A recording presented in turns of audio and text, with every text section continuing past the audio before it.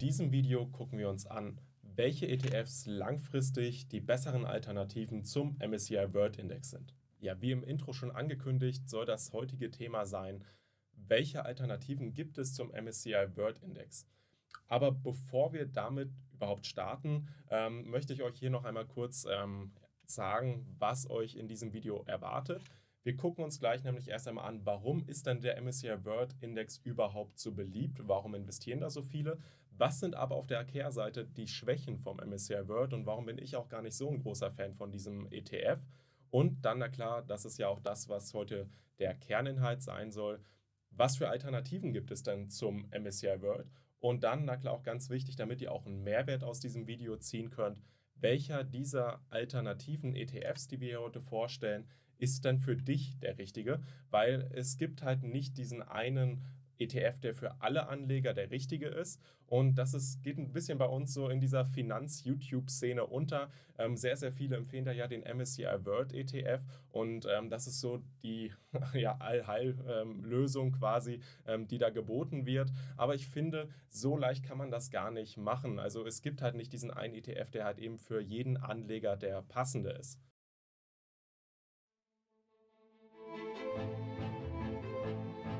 Ich würde sagen, wir starten aber auch an dieser Stelle rein und gucken uns dann auch die erste Frage an, warum ist denn der MSCI World überhaupt so beliebt?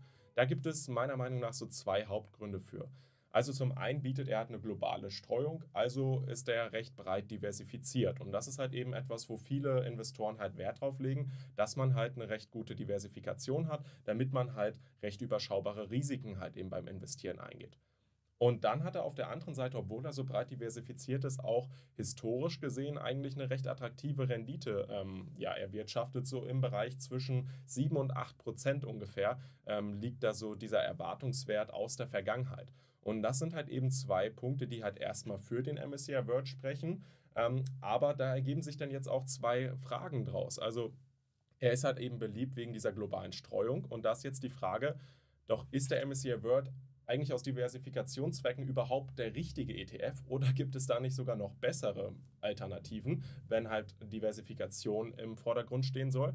Und dann auf der anderen Seite, ähm, wenn man den MSCI World halt eben kauft, um damit primär Rendite zu erzielen, dann ist na klar die Frage, die sich daraus ähm, ergibt, ist dann der MSCI World überhaupt der richtige ETF, wenn man langfristig äh, ja, die Rendite optimieren möchte? Und diese zwei Fragen, das werden hier heute so diese Kernfragen sein, ähm, die wir heute klären möchten. Dafür müssen wir erst einmal reingucken, was genau macht der MSCI World und dafür habe ich hier mal Screenshots mitgebracht von dem größten ETF, den es auf diesem Index gibt.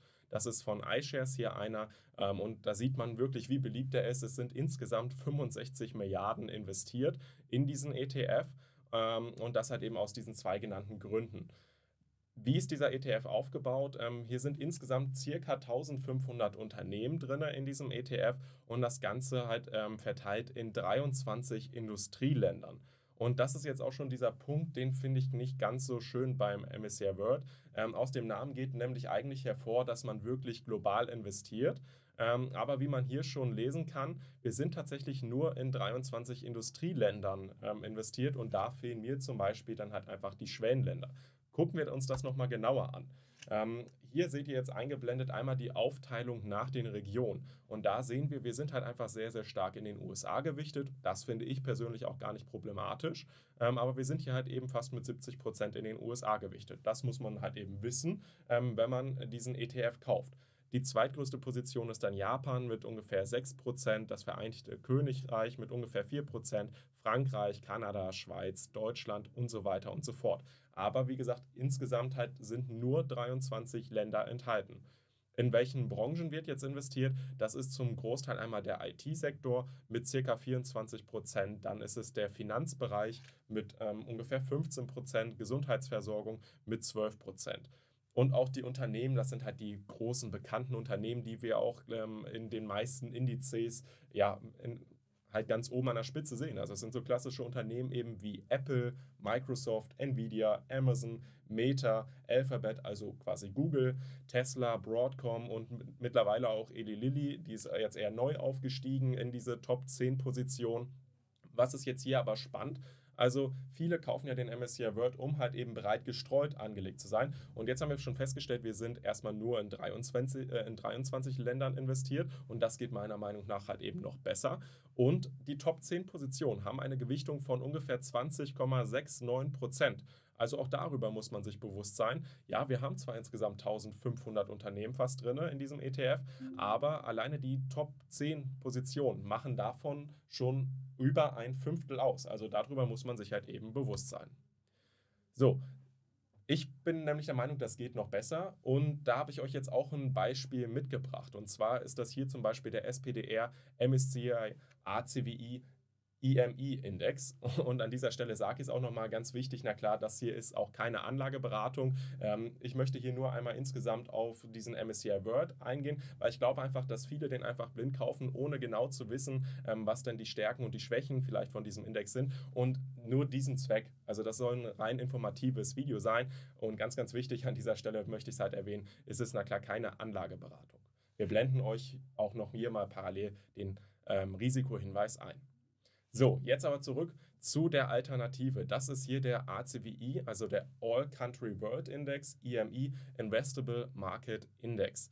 Und warum finde ich den jetzt tatsächlich spannender? Ja, einmal, weil wir noch breiter gestreut sind. Also wir haben hier ca. 3000 ähm, Aktien in dem ETF drin.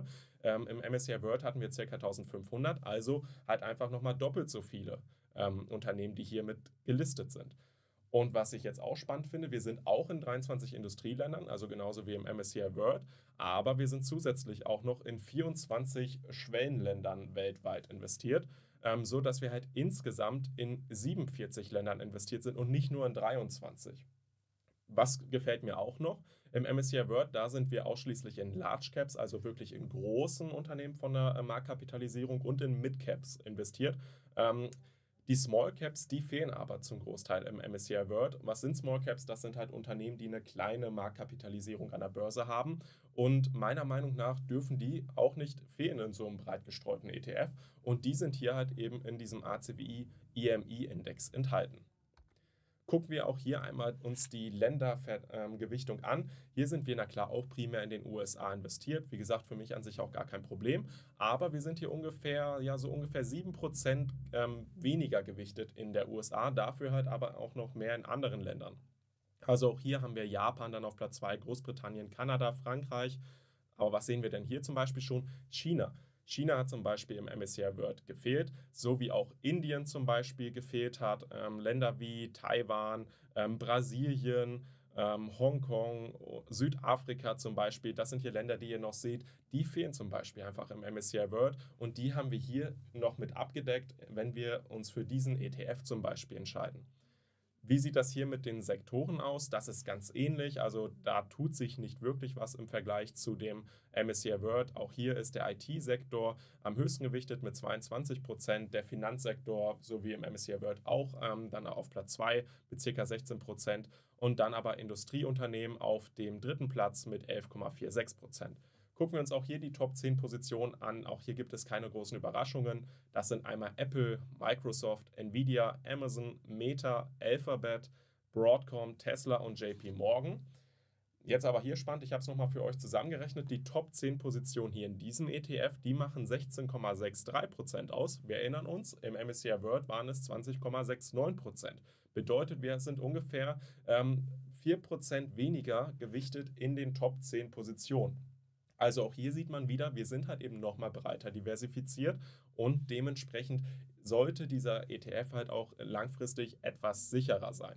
Und das ist halt ja eben auch einer dieser großen Gründe, warum halt eben viele in diesen MSCI World ETF investieren, weil man halt eben vermeintlich schon sehr breit investiert ist. Ist man da klar auch mit 1500 Unternehmen, aber ich habe euch jetzt hier nochmal eine Alternative gezeigt, mit dem man halt eben einfach nochmal deutlich breiter gestreut ist.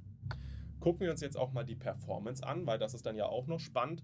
Ähm, geht jetzt diese Diversifikation auf Kosten der Rendite? Und ja, das ist tatsächlich so. Also wir haben hier den Vergleich ähm, seit 2011 einmal. Ihr seht es hier in Orange die Kurve, das ist der MSCI ACWI, also die Alternative, die ich vorgestellt habe. Und in Blau haben wir den MSCI World USITS ETF. Und da sehen wir, dass der ähm, MSCI World 316% in der Zeit gemacht hat an Performance und der ACBI nur 275 Prozent. Also auch das muss man hier na klar dann auch sagen. Wir sind zwar breiter diversifiziert und haben auch die Schwellenländer mit dabei, aber das ist zumindest in der Vergangenheit ein bisschen auf Kosten der Rendite gegangen. Und da muss jetzt halt einfach jeder auch für sich klären, ähm, ob das für einen in Ordnung ist, weil wenn ich Diversifikation möchte, dann gehören halt eben auch solche Schwellenländer mit ins Portfolio. Man muss sich halt aber darüber bewusst sein, dass halt eben das äh, historisch gesehen ein bisschen auf Kosten der Rendite gegangen ist. Wenn man aber sagt, mir ist Rendite wichtiger ähm, und deswegen findet man den MSCI World dann doch spannender, dann würde ich auf jeden Fall sagen, bleibt dran, weil wir gucken uns gleich auch noch an, wie man diese Rendite-Stellschraube noch deutlich optimieren kann, weil da gibt es auf jeden Fall noch Luft nach oben im Vergleich zum MSCI World.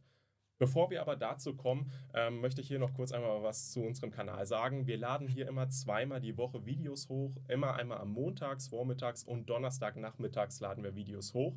Und die stellen wir für euch, na klar, kostenlos immer zur Verfügung. Und ich bin letztens in der Recherche, ich habe mir mal die Analytics zu unserem YouTube-Kanal angeguckt und da bin ich darauf aufmerksam geworden, dass von unseren regelmäßigen Zuschauern tatsächlich ca. 60 Prozent den Kanal nicht abonniert haben. Und da spreche ich für das ganze Team. Also wir stecken hier wirklich sehr, sehr viel Arbeit rein in diesen Kanal und bereiten diese Videos vor. Dann wird das von unserem ähm, ja, Cutter-Team auch noch geschnitten und hochgeladen, Thumbnails designt. Ihr würdet uns wirklich einen großen Gefallen tun, wenn ihr regelmäßig hier unseren Kanal guckt und einen Mehrwert in, aus unseren Videos zieht, wenn ihr diesen Kanal abonniert. Ähm, also wie gesagt, da würdet ihr mich sehr glücklich mitmachen, aber auch Mario und das gesamte Team, weil wir hier wirklich viel Mühe uns geben, dass wir für euch einen Mehrwert hier in diesen Videos transportieren können. Also wenn ihr den Kanal noch nicht abonniert habt, dann tut das gerne. Das Ganze ist na klar auch kostenlos. So, jetzt würde ich sagen, gucken wir uns aber an, wie man an der Renditestellschraube eben noch schrauben kann. Ja, ein Weg, seine Rendite langfristig zu erhöhen, ist zum Beispiel, indem du sagst, mir ist die Länderdiversifikation gar nicht so wichtig. Mir kommt es eher darauf an, dass die Unternehmen, die ich im Portfolio habe, halt wirklich eine gute Qualität haben. Und dazu habe ich hier auch nochmal eine spannende Statistik rausgesucht, weil das Spannende ist, dass wenn wir zum Beispiel uns mal den S&P 500 und auch den Nasdaq 100 angucken, das sind ja so die bekanntesten US-Indizes, die langfristig halt besser gelaufen sind, ähm, zumindest in der Historie als so ein MSCI World ETF.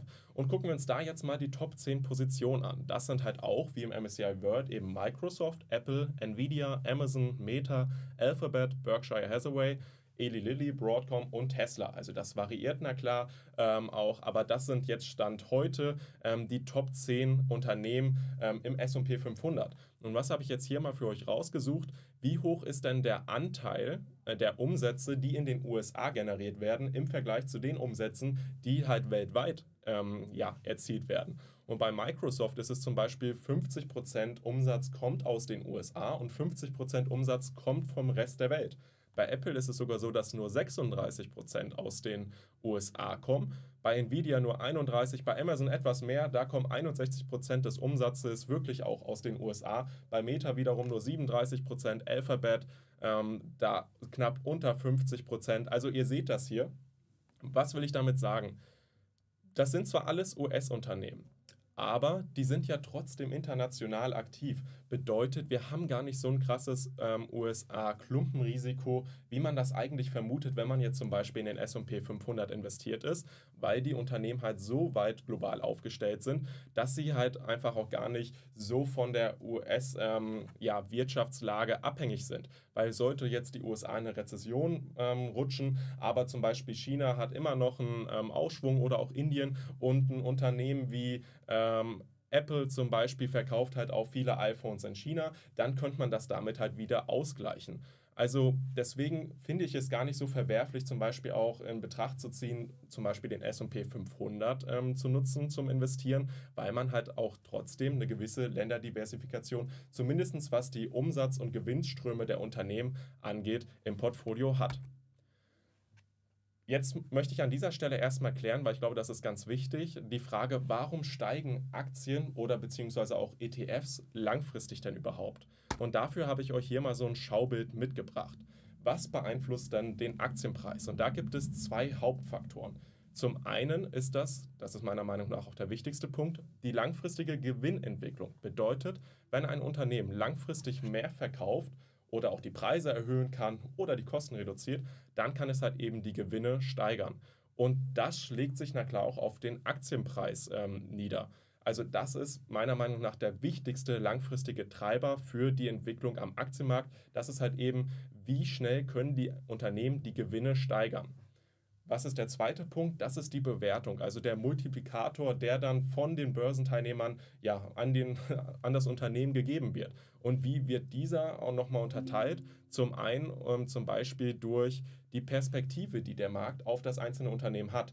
Wenn es jetzt zum Beispiel ein Unternehmen ist, das halt ähm, in der Historie gezeigt hat, dass es wirklich sehr, sehr gut die Gewinne steigern konnte und es gibt auch noch viel Wachstumspotenzial oder das Unternehmen hat einfach Alleinstellungsmerkmale, äh, Wettbewerbsvorteile, dann kriegt so ein Unternehmen halt eben einen höheren Multiplikator, also ein höheres Kurs-Gewinn-Verhältnis. Dann ist na klar noch wichtig, das sind eher so Faktoren, die kann man nicht beeinflussen. Ähm, wie ist die gesamtwirtschaftliche Lage. Davon sind dann alle Unternehmen immer äh, betroffen. Wenn wir in einer Rezession sind, dann fallen Aktienkurse halt eben eher. Wenn wir jetzt aber eher in einem wirtschaftlichen Aufschwung sind, in einer Boomphase, dann profitieren auch alle Aktien davon. Und dann noch der dritte Punkt, ähm, der den Multiplikator mit beeinflusst, das ist die monetäre Situation und das wird von den Zentralbanken beeinflusst. Also wenn die Zinsen steigen, dann ist das tendenziell eher schlecht für den Aktienmarkt. Wenn die Zinsen niedrig sind, dann ist das eher gut für den Aktienmarkt. Aber diese letzten zwei Punkte, das ist halt wirklich etwas, das betrifft sowieso jedes Unternehmen und da können wir als Investoren auch gar nicht so einen großen Einfluss drauf nehmen. Worauf können wir aber einen Einfluss nehmen? Das ist der erste Punkt, dass wir uns Unternehmen ins Portfolio legen, die halt langfristig halt einfach die Gewinne schneller steigern. So, und um das für euch zu veranschaulichen, da habe ich hier einmal ein Schaubild dargestellt. Ich habe hier jetzt einfach mal exemplarisch eine Linie für den MSCI World, für den S&P 500 und für den Nasdaq 100 für euch eingeblendet. Wie ist das zu verstehen? Ähm, Ihr habt hier einmal auf der einen äh, Achse die Gewinnwachstumsentwicklung und auf der anderen Achse die zeitliche Entwicklung. So, und ihr seht jetzt hier zum Beispiel der MSCI World, ähm, der steigt langfristig halt etwas, also da steigen die Gewinne langfristig, so war es in der Historie auf jeden Fall, die Gewinne im Durchschnitt langsamer an, als es zum Beispiel im S&P 500 der Fall ist. Deswegen seht ihr hier auch die gelbe Linie vom S&P 500 liegt über der Kurve ähm, vom MSCI World. Und der Nasdaq 100, da war es in den letzten Jahren noch mal krasser. Also die Unternehmensgewinne, die konnten halt einfach deutlich schneller steigen bei den Nasdaq 100 Unternehmen, als es beim MSCI World der Fall ist. Und dann habe ich da immer nochmal so eine schwankende Kurve drum gesetzt. Das soll quasi stellvertretend hier die Aktienmarktbewertung darstellen, weil das ist ja nicht so, dass Aktien halt einfach wirklich so schnurstracks steigen, wenn halt eben die Gewinne von Unternehmen steigen, dass dann halt auch ähm, die Bewertung ähm, einfach so sich mit äh, dementsprechend mitentwickelt. Nein, es gibt ja immer noch diese anderen Faktoren, ähm, die ich eben angesprochen habe, wie zum Beispiel die wirtschaftliche Lage oder auch was machen die Zentralbanken oder wenn es auch auf einmal Kriege gibt. Also das gibt halt noch diese äußeren Einflüsse, die betreffen halt aber, das ist ganz wichtig, alle dieser Indizes. Also von diesen Einflüssen, da ist sowohl der MSCI World, auch der S&P 500 und auch der Nasdaq 100 äh, betroffen. Was ist jetzt aber spannend? Der Nasdaq 100, der schwankt dann halt oft Dollar. Also wenn es irgendwelche schlechten Nachrichten gibt, dann ist es schon in der Historie eher so gewesen, dass der dann auch etwas stärker fällt der SP 500 nicht unbedingt im Vergleich zum MSCI World, aber ich habe es hier trotzdem mal in diesem Schaubild so dargestellt. Ähm, also das muss man halt eben wissen. Langfristig sind die Gewinnentwicklungen aus dem Nasdaq und aus dem S&P 500 halt eben deutlich den vom MSCI World überlegen, aber auch die Schwankungen können dafür na klar etwas größer sein. Deswegen sagt man ja auch immer, ähm, dass Rendite durch Risiko kommt. Was ist damit gemeint? Wenn ich höhere Risiken eingehe, dann erhöhe ich damit auch meine Wahrscheinlichkeit, langfristig mehr Rendite zu erzielen. Und das veranschaulicht halt hier eben dieses Schaubild. Also das erste Learning hier in diesem Video, und das ist auch ganz wichtig, wenn du das für dich erst einmal verstanden hast, langfristig ist die Gewinnentwicklung der Unternehmen der Haupttreiber für Kurssteigerungen und die Entwicklung, dieses Schwanken darum, das können wir als Investoren gar nicht beeinflussen. Das ist halt einfach eben die Makroebene. Also ob halt irgendwie auf der Weltwirtschaftsebene etwas passiert, dann sind halt aber wie gesagt auch alle Unternehmen davon betroffen. Langfristig ist das, was wir als Investoren aber entscheiden können, welche Unternehmen möchte ich im Portfolio haben und da macht es meiner Meinung nach eben Sinn, Unternehmen im Portfolio zu haben, die halt eben schnell die Gewinne steigern können. Das gucken wir uns jetzt auch nochmal an dem Beispiel vom Nasdaq 100 zum Beispiel an. Seit 2004 konnte der Nasdaq 100 nämlich die Gewinne ähm, beziehungsweise noch genauer, hier ist es der Free Cashflow, der analysiert wurde. Also wirklich das, was wirklich im, dem Unternehmen ähm, zur Verfügung steht nach allen Kosten. Und dieser Free Cashflow konnte seit 2004 ungefähr pro Jahr immer um 12 bis 14 Prozent Gewinnwachstum ähm, pro Jahr steigen. Und dementsprechend ist es na klar auch nicht verwunderlich, dass der Nasdaq 100 ähm, seit 2004 auch sich so, so stark am Aktienmarkt entwickelt hat, ähm, weil es sich halt eben langfristig immer in diesem Bereich um die Gewinnentwicklung einpendeln wird aber ich habe es ja auch in diesem Schaubild dargestellt. Na klar, gibt es auch mal Phasen, da sind wir dann unter diesen 12 bis 14 Prozent, weil wir gerade halt in einem Crash sind, wie Corona oder ähm, auch ein Russland-Ukraine-Konflikt. Das gibt es na klar immer, aber ähm, langfristig werden wir uns immer ungefähr in diesem Bereich einpendeln. Ähm, da wird der Index immer ungefähr in diesem Tempo wachsen, wie halt eben auch die Gewinne steigen können. Und das war hier im Nasdaq seit 2004 halt eben ungefähr 12 bis 14 Prozent pro Jahr. Hier auch nochmal anders dargestellt. Was seht ihr hier? Die Earnings per Shares ähm, äh, einfach addiert von den Unternehmen aus dem Nasdaq 100. Das, äh, die Grafik startet hier in dem Jahr 2006 und ihr seht, seit 2006 konnten die Earnings per Share ähm, einfach um 1070 Prozent gesteigert äh, werden können. Und das ist na klar super, super stark. Das auch nochmal hier im Vergleich zum SP 500. Wir haben hier Daten seit dem Jahr 2003 und was sehen wir? Dass die Unternehmen aus dem Nasdaq 100 die Earnings, also die Gewinne in, seit 2003 verdreißigfacht, äh, verdreißigfachen konnten. Also wirklich sehr, sehr stark. Die Unternehmen aus dem S&P 500 im Schnitt hingegen nur, das ist immer noch super, um, 5, um das 5,6-fache. Auch bei den Umsätzen konnten die Nasdaq 100 Unternehmen die Umsätze verzehnfachen, die aus dem S&P 500 nur um den Faktor 2,7 steigern. Also deswegen sieht man auch, das ist der Grund dafür, dass der Nasdaq auch in den letzten 20 Jahren halt eben den S&P 500 outperformt hat. Und das ist jetzt hier leider nicht mit in dem Schaubild drin, aber das wäre jetzt nochmal spannend gewesen, ähm, der MSCI World im Vergleich, weil da ist es ganz sicher so, dass der MSCI World halt nochmal schlechter ist zum Beispiel als der S&P 500 langfristig. So, aber dann kommt jetzt immer so ein Argument, ja, ist ja schön und gut, dass der Nasdaq halt eben in der Vergangenheit zum Beispiel schneller gestiegen ist und auch der S&P 500 ähm, als der MSCI World. Dafür sind die Aktien halt aber auch eben höher bewertet. Und das gucken wir uns jetzt auch einmal an, weil das stimmt tatsächlich. Der MSCI World hat im Schnitt ein Kursgewinnverhältnis von 20,26, der S&P 500 von 24,23 und der Nasdaq 100 von 34,05. Also ja, das stimmt. Die Unternehmen aus den US-Indizes, die sind tendenziell höher gewichtet, also, also höher bewertet an der Börse als die Unternehmen aus dem MSCI World. Jetzt müssen wir aber auch gucken, warum ist das denn so? Warum sind denn diese Kursgewinnverhältnisse höher? Ist das vielleicht sogar berechtigt? Dafür komme ich nochmal zurück auf dieses Schaubild. Denn ich habe gesagt am Anfang, bei der Aktienbewertung, da kommt es auch hier auf diesen Punkt drauf an. Und zwar, wie sieht der Markt die Perspektive für das Unternehmen? Und was guckt sich der Markt da immer an? Das ist einmal die Historie, also wie konnte ein Unternehmen in der Vergangenheit die Gewinne steigern und auch was gibt es für Wachstumspotenziale und was gibt es auch für Wettbewerbsvorteile, die die Unternehmen haben. Und solche Unternehmen, die da halt eben sehr gut aufgestellt sind, die sind halt eben auch von dem Kurs-Gewinn-Verhältnis an der Börse höher gewichtet. Und das ist auch gar kein Problem, weil wenn ein Unternehmen schneller wächst, dann wächst es ja auch schnell in die hohe Bewertung rein. Also das ist gar nicht so ein großes Problem, dass die Unternehmen aus dem Nasdaq 100 tendenziell höher von der Bewertung sind als die aus dem MSCI World. Ja, die Schwankungen sind dann größer, wenn etwas passiert auf der Makroebene, aber trotzdem langfristig ähm, wachsen die Unternehmen halt eben auch schneller in diese höhere Bewertung rein. Also sehe ich gar nicht als so groß problematisch an. Hier auch nochmal ein Beispiel jetzt wieder auf den Nasdaq 100 bezogen. Ähm, da sieht man halt einfach, warum vielleicht auch hier die Bewertung höher ist. Ähm, man sieht hier zum Beispiel, dass einfach fast 60 Unternehmen aus dem Nasdaq 100 in den letzten Monaten Patente in den folgenden Bereichen ähm, ja, erlassen haben. Und da sehen wir zum Beispiel, dass halt ähm, 36,5 Prozent der Unternehmen aus dem Nasdaq 100 ähm, oder der Marktkapitalisierung ähm, halt eben ähm, in dem Bereich Natural Language Processing zum Beispiel Patente ähm, eingereicht haben. Was ist das jetzt für ein Bereich? Das ist der Bereich künstliche Intelligenz, also das, was wir zum Beispiel unter ChatGPT kennen.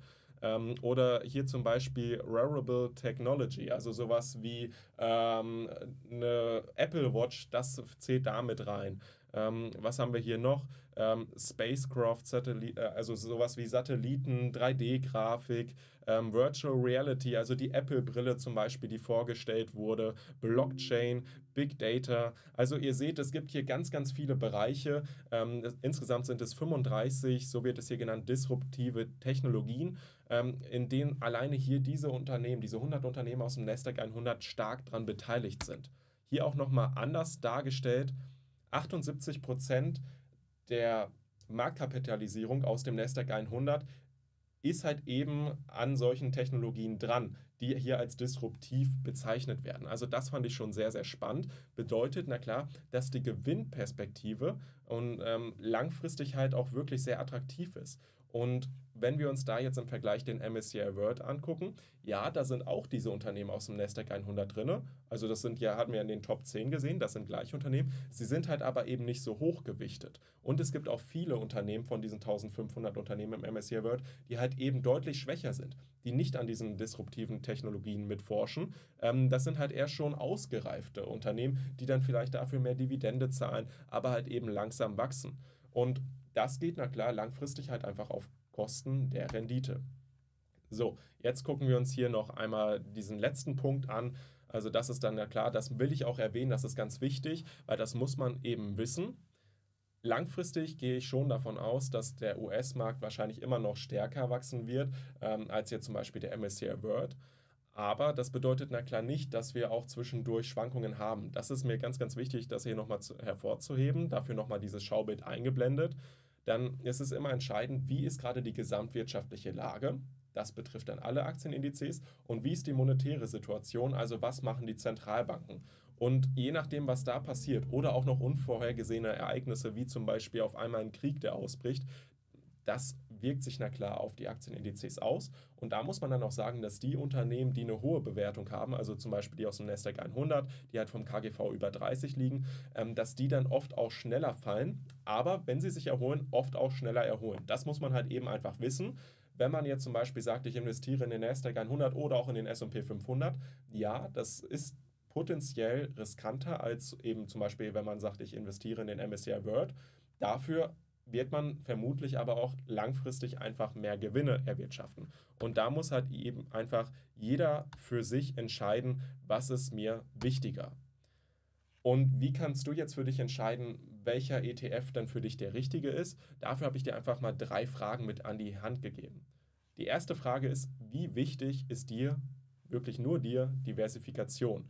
Sagst du, ja, ich brauche wirklich Diversifikation über 23 oder sogar über 47 Länder, dann ist na klar sowas wie der ACWI IMI für dich ein spannender ETF. Aber wenn du zum Beispiel sagst, nee, mir ist die Rendite richtiger, also das ist auch die zweite Frage, wie wichtig ist dir Rendite? Und wenn du da sagst, ja, Rendite ist mir wirklich wichtiger als Diversifikation, dann könntest du zum Beispiel überlegen, ob der S&P 500 oder der Nasdaq 100 nicht für dich spannender ist langfristig. Und dann die dritte Frage ist, wie viel Schwankungen kannst du aushalten? Und wenn du da sagst, du möchtest möglichst wenig Schwankungen haben, ja, dann bist du vielleicht doch mit dem MSCI World ganz gut aufgestellt oder mit dem ACWI. Wenn du sagst, Schwankungen sind mir aber egal, weil ich weiß, dass Aktien langfristig steigen, dann ist hier vielleicht auch wieder der S&P 500 oder der Nasdaq 100 die richtige Wahl für dich. So, ich fasse jetzt hier noch einmal zusammen.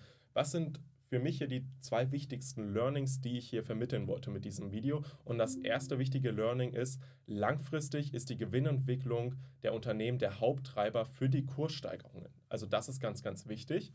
Und dann das zweite Learning, Präferenzen an der Börse sind unterschiedlich. Es gibt nicht den einen ETF, der für alle passt. Und ich hoffe, dass es heute auch aus diesem Video äh, ja, hervorgegangen, dass es halt verschiedene Präferenzen gibt, zum Beispiel Diversifikation, Schwankungsneigungen ähm, oder auch Renditewünsche. Und je nachdem, wie man diese Fragen für sich halt eben beantwortet, muss man für sich entscheiden, welchen ETF man für sich dann langfristig im Portfolio besparen möchte. Ich hoffe, dass du hier auch wirklich was lernen konntest. Und wenn du etwas lernen konntest und vielleicht auch schon das zweite oder dritte Video hier auf dem Kanal geguckt hast und noch nicht bisher den Kanal abonniert hast, dann würdest du mir wirklich einen großen Gefallen tun, wenn du an dieser Stelle jetzt einmal kostenlos den Kanal abonnierst und auch gerne ein Like hier für dieses Video da lässt und gerne auch einen Kommentar und da kannst du gerne schreiben, wie hat dir das Video gefallen und welchen, welchen ETF besparst du denn langfristig, welcher ist da für dich der richtige. Ich würde sagen, wir sehen uns im nächsten Video. Tschüss.